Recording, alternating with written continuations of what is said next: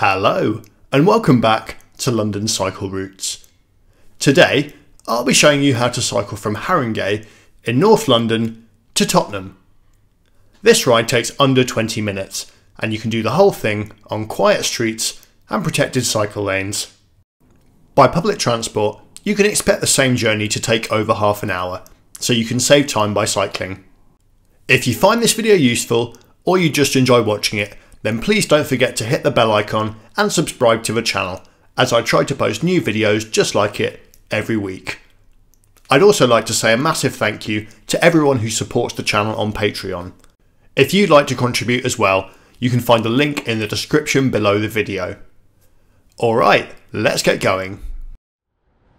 So we're starting on Green Lanes near Harringay Green Lanes Overground Station and we're going to head straight down Stanhope Gardens. Green Lanes itself is a horrible street to cycle on and it doesn't have any cycle lanes or cycle infrastructure at all, but we can bypass it by going on these quiet streets that will allow us to run more or less parallel. The reason these roads are all quiet is because Warwick Gardens, which is the next street that we're about to turn onto in a second, is close to motor traffic at the end, and as a result there isn't actually a through route through these residential streets. The result is a nice quiet cycle route heading northeast from here, but as you can see from the guys walking in the road, there are also other benefits in terms of just general traffic calming for everybody using the street.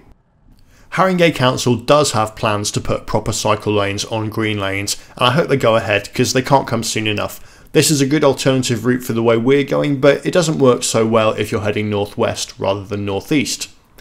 Here we cross St Ann's Road and there isn't really a crossing facility, so you just have to look both ways and find a gap in the traffic. And then we take ourselves onto Riches Road. This area is part of Haringey's St Ann's low traffic neighbourhood, which was put in a couple of months ago and has made all the roads around here quite quiet. The route we'll be taking through here is quite windy and could be difficult to remember, so you could download the map or you could just remember it this way. We've just turned right and now we'll be turning left and the next turn will be a right, and the turn after that will be a left, and then a right, and then a left. So it really just goes right, left, right, left, right, left, just like you're marching. Coming up briefly here is a street that you may have actually seen in the news. It's called Black Boy Lane. The council is actually considering changing the name of the street as it's considered to be inappropriate. The current thinking is that it would be changed to La Rose Lane after John La Rose, who was the man who set up the first Caribbean publisher in the UK. You can see on these streets that although they're nice and quiet, they're not completely free of traffic. So we just went past a delivery van because deliveries can still access by taking a different route through the street. And of course, there was somebody accessing their own home there and driving out. So you were running into the occasional car, as in all low traffic neighbourhoods, but generally it's a really improved cycling experience around here I think.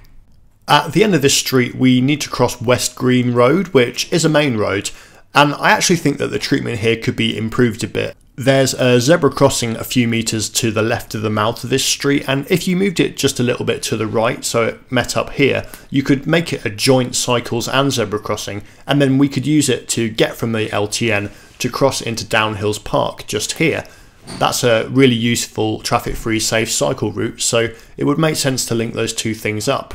As it is, you just have to wait for a gap in the traffic and then cross. Hopefully someone will be using the zebra crossing on foot and traffic will be stopping for them.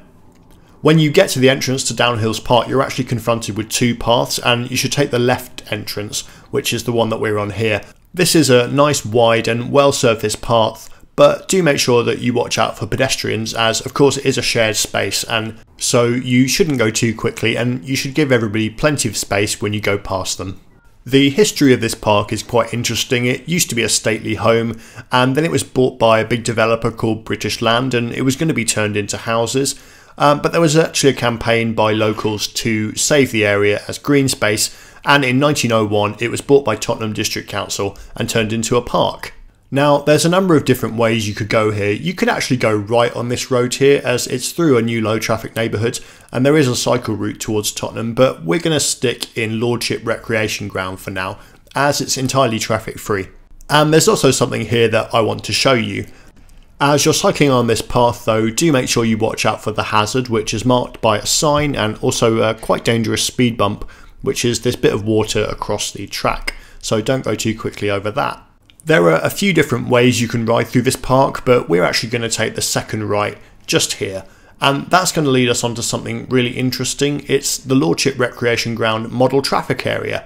You can see that the paths around here are laid out like little roads with zebra crossings and give way lines, and this actually dates back to 1938 and it was open to teach children how to cycle. So if you've got kids, you could take them here and teach them how to ride around these roads.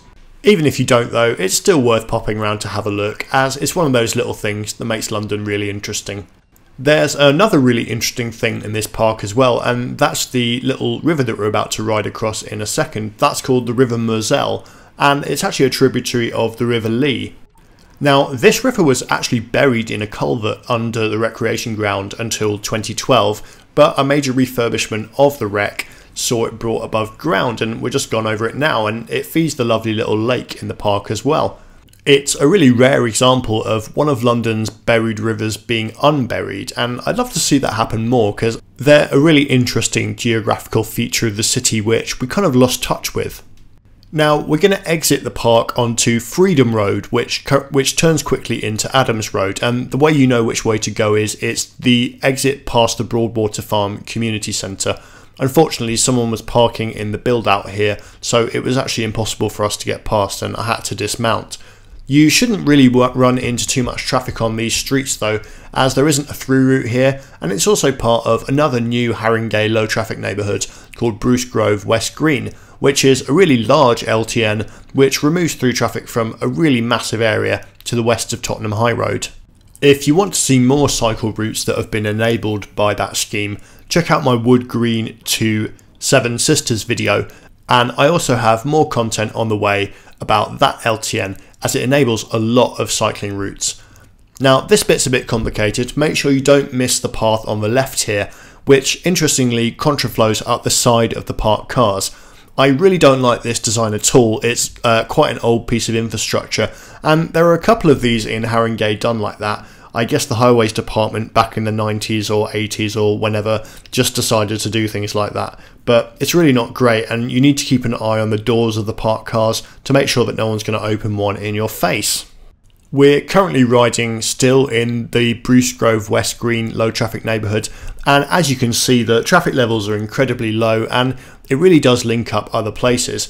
We're also on the official TFL cycle route called Cycle Superhighway 1, which is the signposted route, and you can tell that by the CS1 symbols on the ground. Now, we want to use this crossing here and see this protected island, which you can use to wait for a gap, and then turn straight into Church Lane. Now, this street was actually blocked by a large lorry when I got here, and I was initially annoyed, but then I took a closer look and it seemed like they were actually towing one of the cars that was illegally parked. So, actually, you know, fair enough, they're doing great work. Despite being part of Cycle Superhighway 1, Church Lane is not actually filtered. There is actually a through route through here, for cars, including that one that's coming past me quite quickly just there. And if you think about it for a second, that guy's going to have a lot of problems when he gets to the very, very narrow stretch of road that we had to squeeze past the lorry at, as is this SUV, which is using it as a cut through. I think it would make a lot of sense to install a single traffic filter here, maybe with an exemption for the same permits that give people access to the doctor's bays, the parking bays that we went past where a car was being towed, because I think those bays say doctors only and they're for a nearby medical centre, so other people aren't supposed to park in them, which I suspect is why somebody was being towed.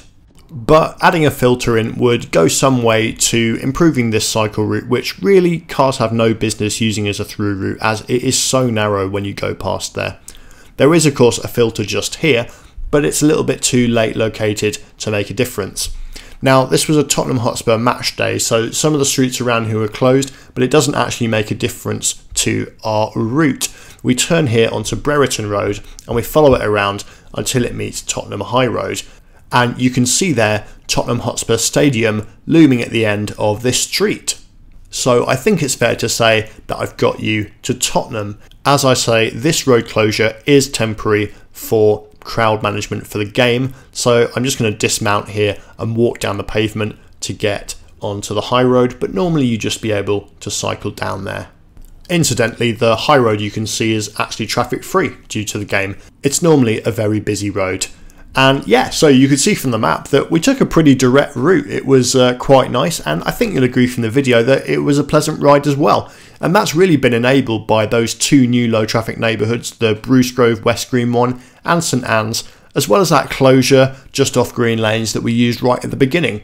So great work from Haringey, and I really hope that they push ahead with those LTNs as they're really making a big difference to cycling around the borough for local trips just like this as well as maybe longer distance commuting journeys.